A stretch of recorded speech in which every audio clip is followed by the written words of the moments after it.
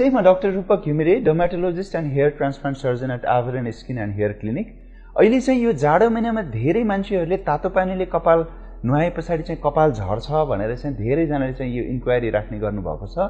हो डेफिनेटली तातो पानीले गर्दा अथवा हट वाटरले गर्दाखेरि अझ धेरै तातो पानी भयो भने चाहिँ त्यसले चाहिँ हेयर स्वेलिङहरू गर्ने अथवा कपालमा हुने खालको जुन डाइसल्फाइड बन्डहरू ब्रेक हुने हेयर क्युटिकल्सहरू चाहिँ ड्यामेज गर्ने त्यो खालको समस्याहरू चाहिँ हुनसक्छ। त्यसले गर्दाखेरि कपाल टुक्रिने समस्या चाहिँ होला होइन? जसले गर्दाखेरि चाहिँ हेयर्सहरू ब्रिटल हुने त्यसको चाहिँ क्युटिकल्सहरू ड्यामेज हुने टुक्रिएर माथिबाट चाहिँ हेयर स्याफ्टहरू ब्रेकेज हुने त्यो समस्याहरू अथवा हेयर स्वेलिङ हुने त्यो समस्याहरू चाहिँ हुनसक्छ तर तातो पानीले नुहाउँदैमा चाहिँ ज्वरैबाट कपाल झर्ने अथवा स्पेसली मेलहरूमा भनौँ न जुन मेल एन्ड्रोजेनेटिक एलोपेसिया भन्छ त्यो चाहिँ जुन तालुपनाको समस्याहरू आउने हुन्छ त्यसलाई चाहिँ तातो पानीले खासै ट्रिगर गर्दैन।